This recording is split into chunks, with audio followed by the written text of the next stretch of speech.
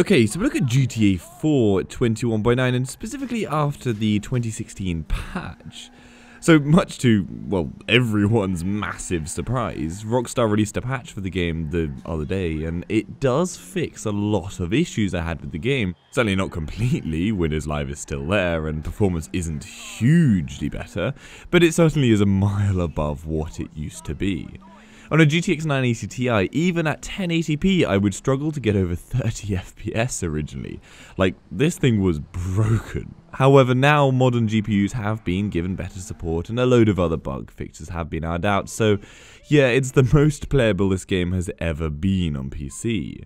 And this is important because I really, really love this game. It's hilarious, the gameplay is so much fun, and yes, whilst many will argue it falls down in many areas like quantity of things to do compared to something like San Andreas, but regardless, it's a massive blast and totally worth your time playing. But anyway, let's go over the 21.9 support. So there is native support and it is pretty solid. The gameplay correctly scales to show off more on the sides of the screen at all times, like in all of the different camera positions both for when on foot and in a vehicle. The HUD shifts to the sides of the screen and screen effects use the entire screen correctly. Cutscenes are all rendered in-game, which means they're all supporting 21.9 well, however, whilst most moments in them are correct, sometimes, especially for close-up shots of character faces, the view actually seems to zoom in a bit, which can cause cutting off of the top and bottom of the image. It's quite strange having the cutscenes be so dynamic, but I can say that after playing for a few hours, it's no issue at all. The main menu has a stretched background image, but the menu elements correctly shift to the sides. The menu settings screens all shift to the left, but the background screen fills the extra screen space with black and the grey lines, so yeah, those look perfect as well. And the map view uses the entire screen space, but does have a weird thing where zooming in 100% causes it to lock in place. You just can't pan around you have to zoom out again and then you can move. It's a bit quirky, but you're rarely ever going to be zooming in that far anyway. Loading screens are stretched, but I love having them full screen, and I'm not bothered how loading screens look so much as they just fill the screen, they don't give us black bars, and you're not looking at them for long anyway. Performance is very unstable though. If I stick everything as high as possible on a GTX 980 Ti at 3440 by 1440, I fluctuate from 95 FPS to high 20s all the time.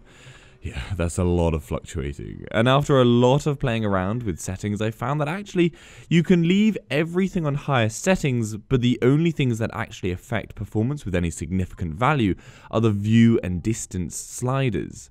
By dropping those to roughly 30, I tried 28 to 33, and they all seem to give basically the same results, you can then stay above 60 FPS in most cases, though you still will drop under at times. But yeah, it gave the best performance to graphics quality I could find. Obviously, you can turn everything down to the bare minimum, but the game looks horrendous.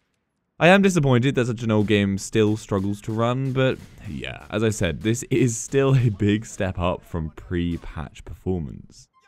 Other small points to make, unfortunately you do have to restart the game whenever changing the texture quality, but luckily no other settings require a restart. I never did understand the whole off-center camera view when using a vehicle either, but you do get used to it after a while. The world does graphically show its age. It's very bland, really lacking in vibrant colours. However, there are mods to spice things up a bit if you really don't like its monotone look. Admittedly, the colours match the game's theme of being really seedy, dirty, and dangerous, but yeah, it does mean the world feels bland to look at. However, that said, from a perspective of how full the world feels, it's brilliant. Pumping up the density of vehicles, you get loads of cars driving around, there are always a lot of people walking around.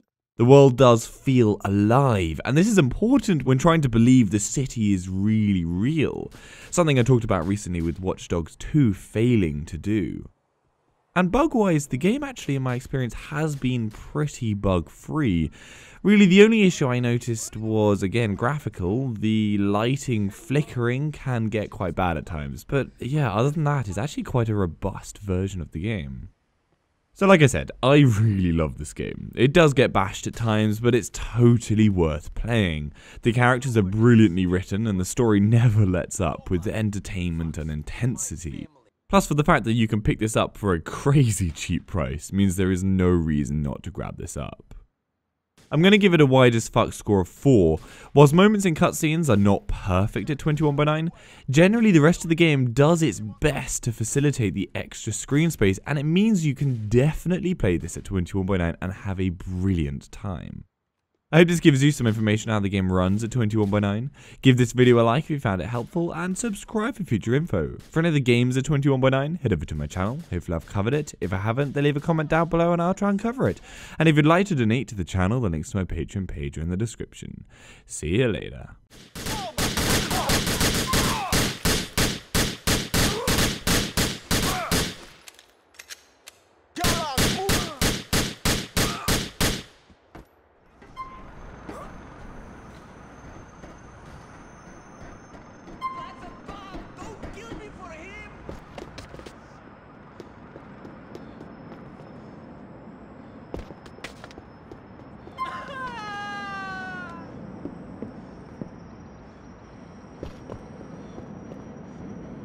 You've run out of roof, dickhead.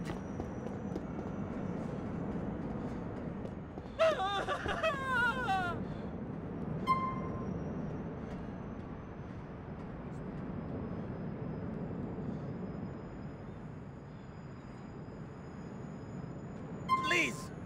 Vlad told you to... Get up! The man taking this way, this herb don't do too well for my and my eye coordination.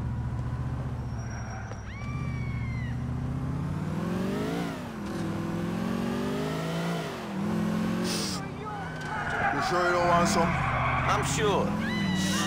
You might not keep the windows closed. Keep the ganja in the car. Hot box, see it? So what's the deal? I'm buying some cauliflower for new sauce, you know? Don't know if it's all this herb, but I'm major paranoid, I don't trust them. Who arranged this deal? Some harbor shots in the crew.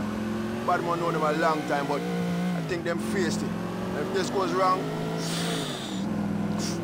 I know what kind of shit bad man going to lay upon them door, you know? Do You think this is a setup? I don't know. I've been smoking hard, you know. Fucks with my brain a little. Let me think all type of shit. I dread don't trust yourself, can't trust no one else, see? Go around the back in case one of them try to get jump and run off with the ganja. Keep out of this vehicle, we might need to get out of here quick.